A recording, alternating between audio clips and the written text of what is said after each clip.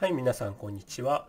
えー、今回はですね、マテリアルを使ってちょっとこのレベル全体をイメチェンするというか、を一発でザクッとやる方法をちょっと紹介していこうと思います。ちょっと一発でザクッとって言い方、あれなんですけど、えー、まあこういう草原があった時に、こう、ギュイーンと雪の世界に変えるみたいな。うん、これをちょっとやっていこうと思いますね。このアクター、このマネキン君の中心から変わっていって、で、こう、戻ってくる。中心から、ちょっとノイズ入れちゃってるから中心が分かりにくいんですけど、まあこんな感じで変えちゃおうっていうところですね。まあ、こういうのがサクッとアンリアルエンジンならできるのがすごいですね。これ自前でやるってなったらもう地獄ですよね。エンジンなしで。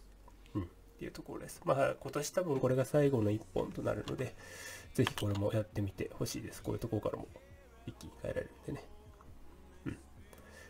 これを1からやっていこうと思います。はい、じゃあ早速やっていきましょう。よいしょ。なので、まずはこの1からやるんで、レベルから作っていこうと思います。まずニューレベルで、ああ、どうしよう。何でもいい。ちょっとライティングアートが楽ちんなんで、これタイムオブデーにしましょうか。で、えー、削除して、不要なものはちょっと全部削除。よいしょ。削除して、えー、これもいらないかな。まず床を作っていきましょうかね。まず床を作るから、今回の Foliage じゃなくて Landscape を利用したんで、 Landscape で作っていきます。まあ、サイズはちょっと何でもいいんですけど、あんま詳しくないんで、とりあえずざっくり。この辺ね、どうなってんだろう。まあいいや。まあ、クリエイトして、えー、も、もったりしていきましょうか。よいしょ。適当に今うわ適当に今回作りますね。まあ、周りが囲まれればいいんで、だこんな広く作んなくてよかったんですけど、ガリガリ塗ってきます。よいしょ。うん。ランプとかね、無駄に使って、うん、無駄に、ちょっとあんまり、まあいいや。まあ、特にサイズは気にしなくていいんで、うん。これで一回完了でいいかな。うん。で、モードを戻して、一回これでセーブしましょう。今はこのワールドチェンジっていうところで、セーブしますね。レベル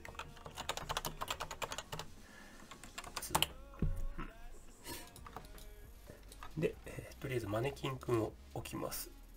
マネキンくんはどこにいるんだろう ?BP マネキン。マネキン。あれ？マネ。ここじゃないのか。どこにいるんだ？サードパーソンかな？こっちか。えっ、ー、と、マネキンくんを置きたい。これだ。置きますと。うん。よいしょ。限点らへんに。これいいかな。はい。で、保存で一回プレイしても何もなんないんで、えー、このマネキンくんが動くようにします。で、マネキンくん動かす方法、まずちょっとファールセッティング見てみましょう。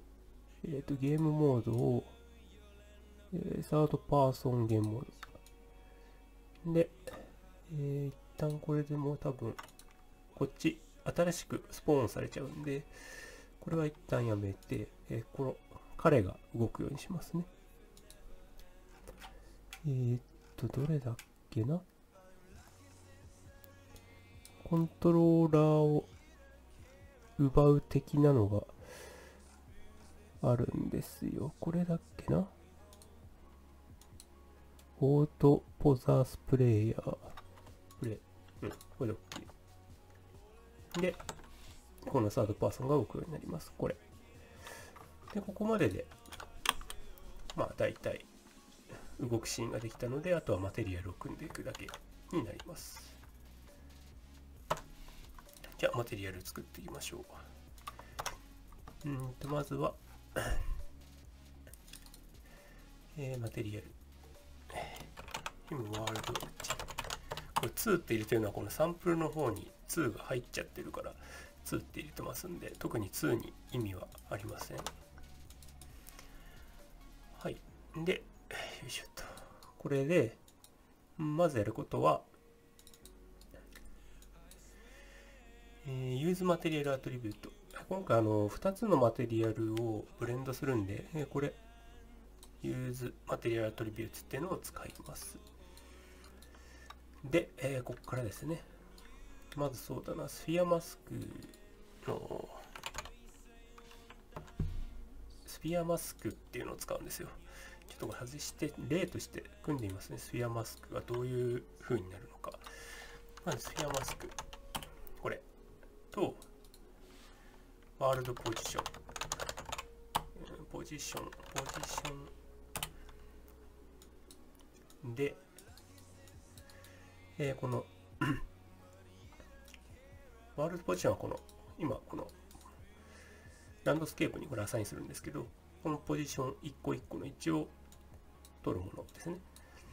で、 Sphere Mask っていうのは、あのこのキャラクターを中心に、スフィア状のマスクをこう、貼ってくれるものなんですよ。なので、このキャラクターの位置を B に入れたいですね。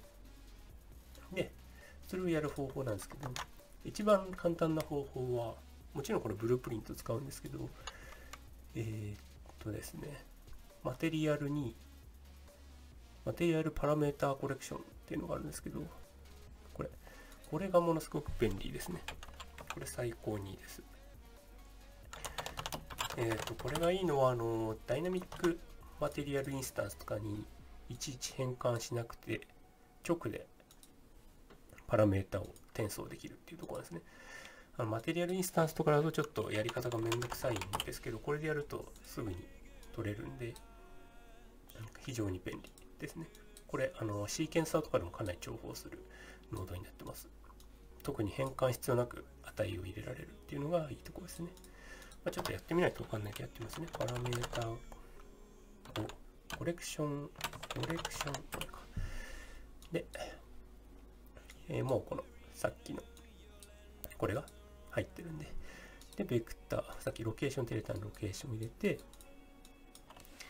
一応コンポーネントマスク、これフロート4になってるんで、マスクして、よいしょ。うん。で、一応この辺もパラメーターにしといて、まあ、とりあえず1にしましょうか。0。うん。で、ハードネスも一応、プロモートというパラメーターでうん。で、あとはベースカラーに入れましょうかね。ミシブの方がいいかな。うん。一旦ちょっと、点5。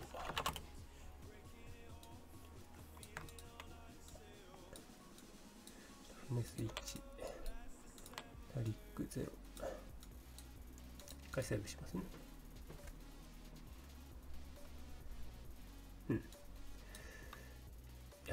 いからまあいいや。で、一旦これをアサインします。ランドスケープに。で、コンパイルしてるんで、で、今のうちに、そうだな、よいしょっと。えー、っと、レベルプルプリント。ここで、えー、ちょっと組みます。えー、セットベクター、ベクターパラメーターバリュー。で、コレクション選べるんで、このワールドチェンジ2。で、えー、サードパーソン君、この、この子の位置が欲しいんで、ゲットアクター、ロケーション。で、パラメーターにさせば、まあ、勝手にキャストしてくれるんで、これコンパイル。パラメーターネーム、ロケーションに入れれば OK。はい。で、これで一回動かしてみましょうか。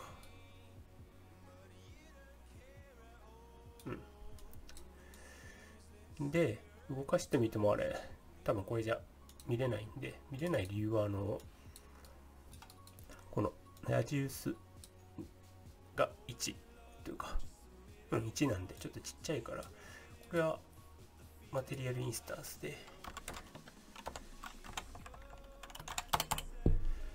変えれるようにしておきましょう。よいしょ。うん。一回プレイしてみましょうかね。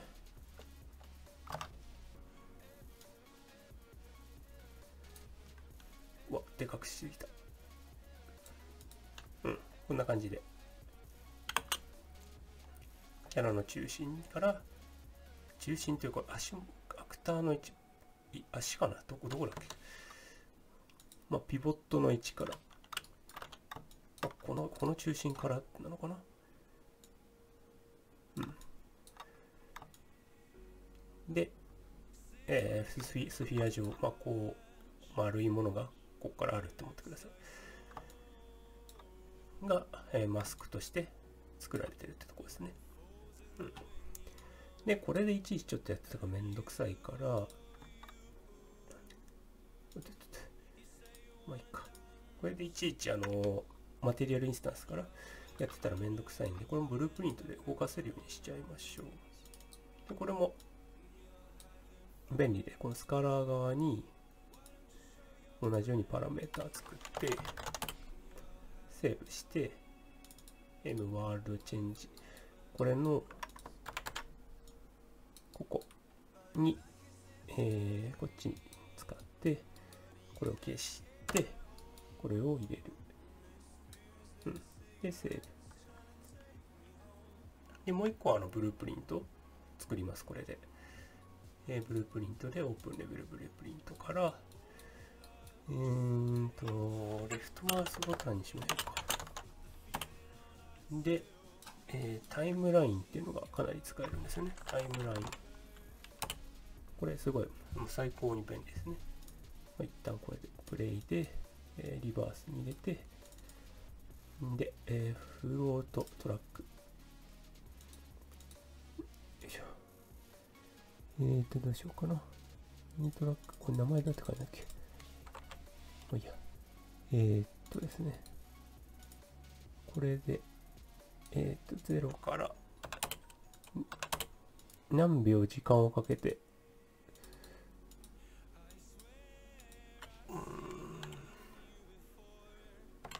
5秒とかでしょうか。どこ行った？うん。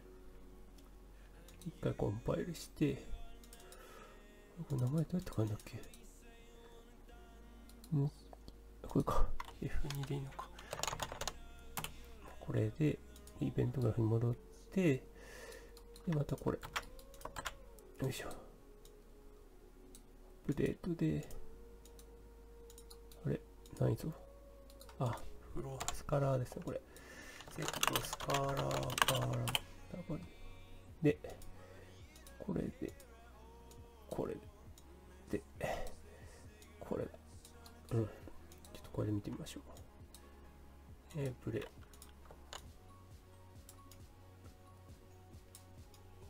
うん、値がちっちゃいかな。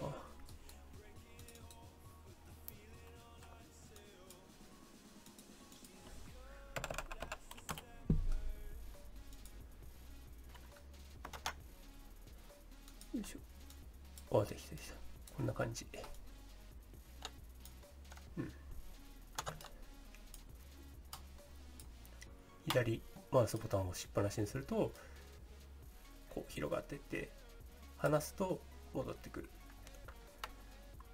うん、で戻ってくるのはあのこのリリースドの時にこのリバースっていうのに指してるから行った方向と逆の方向の値がこのここに入ってくる。っていう流れになります。はい。大体これで、えー、レベルプリンブループリントは完了になりますね。一応、さっき見た感じだと、あの、滑らかだったと思うんですけど、マスクの縁が。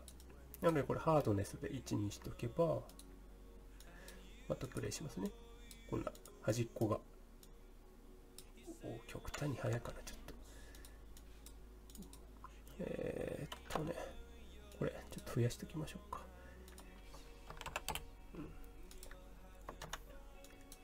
よいしょ。これ。あ、それでもなんか、まあいいや。まあ、こんな感じになるっていうところですね。で、このマスクを利用して、えー、色を変えるっていうところが、やっていくところですね。うん、じゃあ、またどんどんやっていきますね。このマテリアルチェンジ。で、え色を変えるにはどうするかっていうところなんですけど、まあ、そうだな。ちょっとマテリアルファンクションを作っていきますね。うーんと、マテリアルテクスチャー、マテリアル、どれだマテリアルファンクション。で、えー、っと、MFN、違う、マテリアル、MF か。マテリアルファンクション、プラス、でいきましょうか。んで、えー、メイクマテリアルアトリビュート、アウトプットにしますね。で、えー、サブスタンスから何個かテクスチャーを取ってきているので、これを使います。えー、グラスってどれだっけなうーちょっと入れてる場所が悪い。まあ、いっか。 Grass じゃなくてもいい。まあいいや、これで。 Snowy Grass。これを持ってきて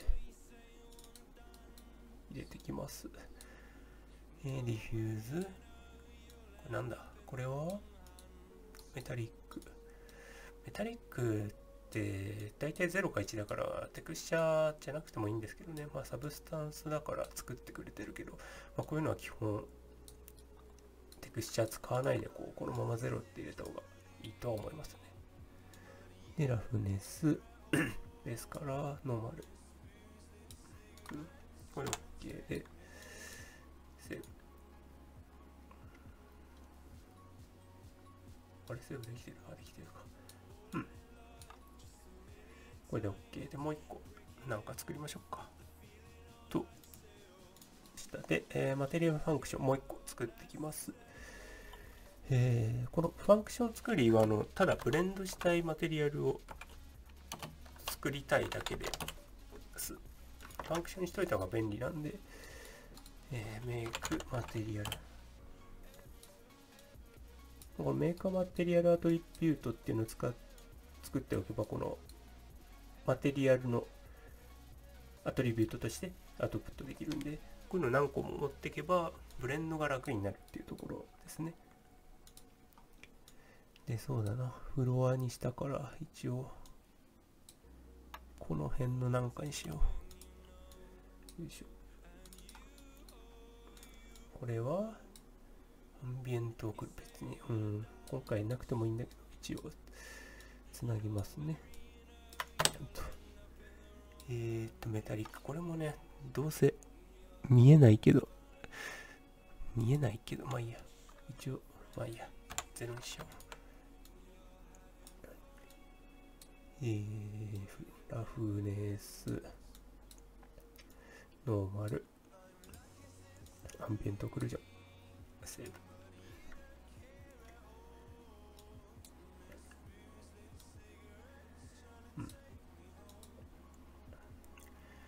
うんで、えー、こっち行って、このマテリアル。よいしょ。これも一旦全部消しますね。で、これをメイク、ユーズメイクマテリアルアトリビュートにして、えー、ブレンドマテリアルアトリビュートみたいな。ん？マテリアルブレンド、どれだ？ブレンドマテリアル、これですね。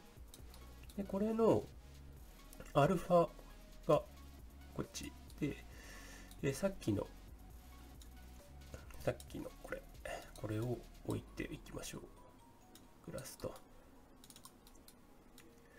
で、フロア側を P1 の方にしてみましょうか。これで、よいしょ。セーブ。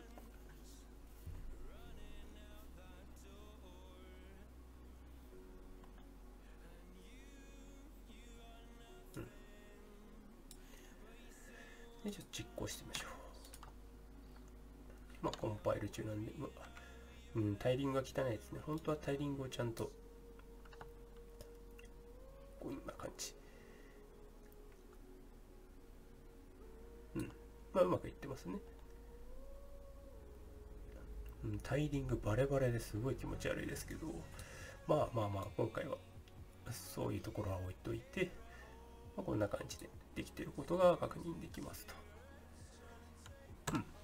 で、さらにここから良くしていこうと思います。まあ、良くしていくって言っても、まあ、ちょっと縁に発酵を入れてそれっぽいなんか、やっていきましょうか。縁っていうのはあの、サークルの縁にエミシブとか抱いて、なんか変わってるぞオーラみたいな出すっていうとこですね。まあ、フォートナイトとかのサークルが縮まっていくのも、まあ、近いものでやってるんだろうなと思いますね。はい。じゃあちょっとやっていきましょう。スフィアマスク2個用意します。まあ、単純にあの、この半径、ちょっと引いたものを使うってぐらいで、えー、刺し方は同じです、基本は。こんな感じで。ハードネスも同じ。違うのはこれですね。ここを、まあ、ちょっとちっちゃいものにするのがいいかな。よいしょ。で、しよう。いや、ちょっと意味が、まあ、これいいや。これにして、これに刺して、で、このスフィアマスク同士、えっ、ー、と、これちっちゃくなってるから、を引くと、縁のリング状の部分だけ作れるんで、ここで、えー、ミッシブ、インテンシティとかにして、うん。で、えー、エミッシブブレンド。うん。これで、一応カラーの V ベクター3だからカラーも入れときましょうかね。エミッシブカラーにして、なんか色つけて、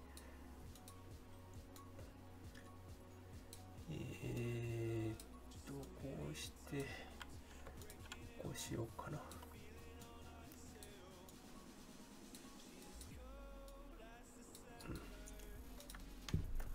これで、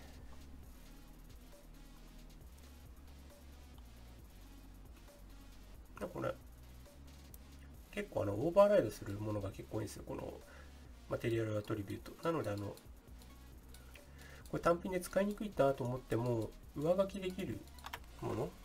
あのオーバーライド？あこういうやつ？メタリックとかのベースカラーとか？オパシティとか？そもそもオーバーライドできるんで、まあ、このメイクママテリアルアトリビュートでもこの中に侵入しなくてもいろいろできるんでまあ、便利ですね。このオーバーライドができるっていうのは。よいしょ。あ、またセーブしちゃった。セーブさっきしたのに意味ないですね。うん、これもね、時間かかっちゃうのがちょっと嫌ですね。はい。で、またちょっと見ていきましょうか。よいしょ。うーんと、プレイしながらのライン水上げてみて、ミッシブも上げてみて、とにかく極端に。あ、白くなりました、なんか。端っこが。でもこれ、エミシブ上げても多分、今、っとね、ポストプロセスが入ってないから、光ってないんですけど、まあ、縁にラインができたのが確認できます。で、ちょっとポストプロセスを見ていきましょう。ポストプロセスボリューム入れて、エクステンドにして、ブルームが多分入ってないんじゃないかな。これで、あ、できた。うん、こんな感じ。とちらつく気はするけど、まあ、こんな感じですね。で、縁が光るようになったっていうとこですね。まあ、これも何でしたっけ、あの、ソナーというか、デストランディングとかにもありましたね、こう、ソナーで発見するようなもの。それ、これが近いものになるかな。ちょっとハードすぎるから、ちょっと下げて、うん。下げればのちらつきが減ったと思います。さっきみたいな。ギラギラってしてたと思うんですけど、これ。1にしてやるとギラギラしてたと思うんですね。なんかこうちらつきというか。こう斜めの時とかこのこういうところガリガリガリってガリガリガリってなとこ、まあ、ここが、まあ、このハードネスちょっと下げればガリガリしなくなるんでこう滑らかに登っていったりするんで。うん、うん、いい感じですね。ちょっと分厚い気がするけど。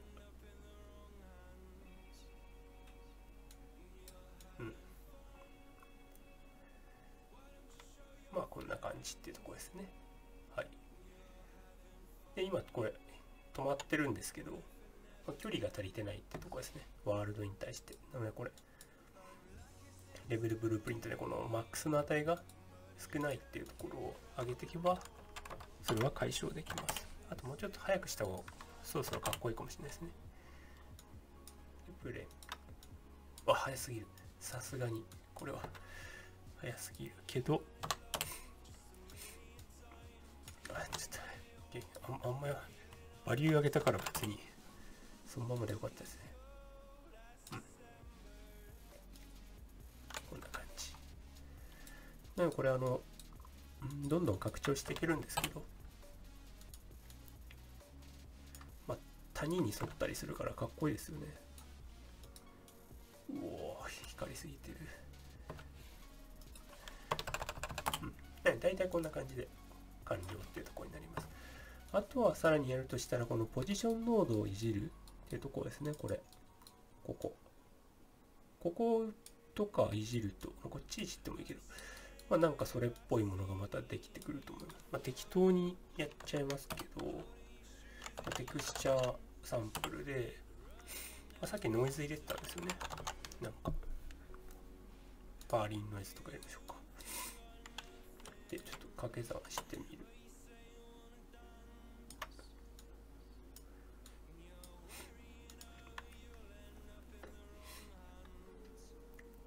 や、掛け算はダメでしたね。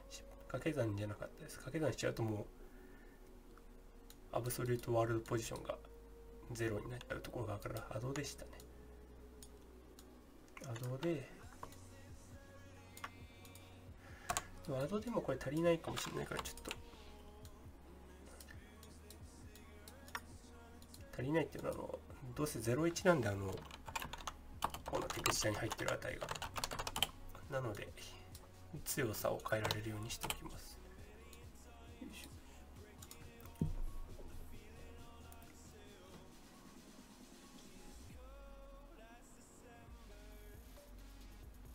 うん、でこれでまた見ていきましょうかね。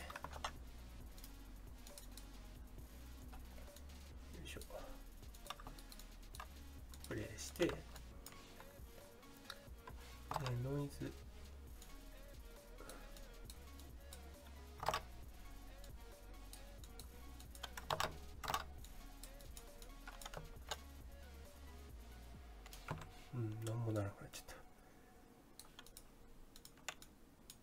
な感じでなんか変わったと思って。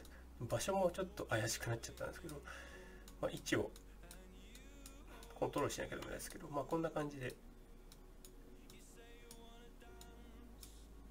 ちょっと縁が違うコントロールになるってとこですね。なんかもうこうインプット側をいじればなんかねそれっぽい何かになってくるんでこれはこれで面白いから。あとはテクスチャのスケールとか変えてもまた変わってくるんで。うん。まあ、こういうのもできて面白いですね。 Sphere Mask は本当 Unreal Engine の中ではかなり面白いノードというか、え可能性があるノードだと思いますね、こういうのとか。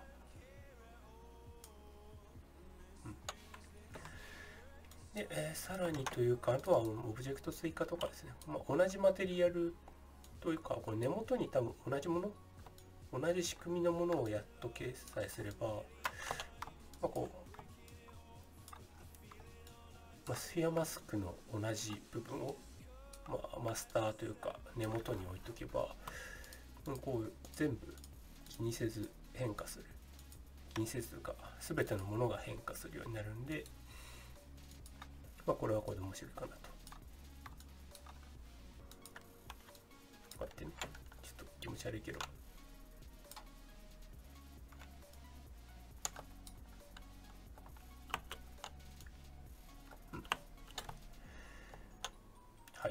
かこんな感じの世界をこう変えたりとかするなんかゲームとしてもこういうのあったら面白いですよねこれオパシティにやったら消えるとかもできるんでもう完全にレベルそのものを変換するっていうのもまたいろいろ頑張って組めばできるので、まあ、これはちょっとゲームの中でやったら面白いかなと思います。まあ、処理とか負荷とかは全然もう気にしないんですけど、どんぐらい重いんですかねちょっとわからないんですけど、まあ、これで面白い表現ができるかなと思います。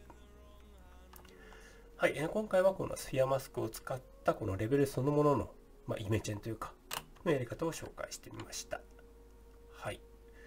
今年はこれ最後の1本でしたけど、えー、皆様に楽しんでもらえたらよかったと思います。では皆様良いお年を。ということでよろしければチャンネル登録と高評価の方よろしくお願いします。